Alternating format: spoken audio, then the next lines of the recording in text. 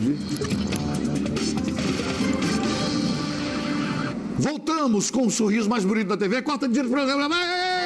Meu Deus, eu tava me arrumando ainda. Eita, viu? Ela tava palitando os dentes. Olha aí. Tava me lindo. arrumando ainda. Falei, meu pai do céu, não tô arrumada. Oh, Oi, é Siqueira. linda. O Oi, sorriso mais bonito da TV brasileira. Olha, já participou da campanha para levar os sapatos da Ellen. Olha que coisa linda, gente. Que coisa linda.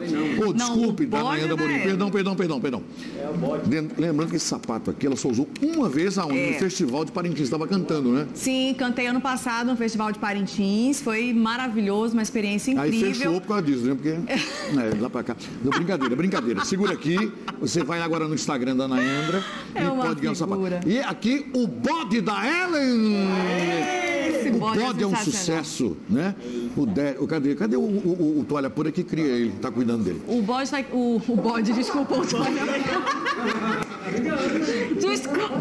Tchau. Deus é bom. Uma noite abençoada. Amanhã eu estou viajando, só volto sexta-feira. Eu peço a Deus que você ore pela nossa viagem, que tudo dê certo e que sexta-feira, se Deus assim permitir, eu estarei de volta para a gente apresentar o programa com todo carinho, com todo esse elenco que vocês amam. Um grande beijo. Deus é bom, o diabo não presta. Ah! Ah! Ah! Acabou-se! Pezinho, pezinho.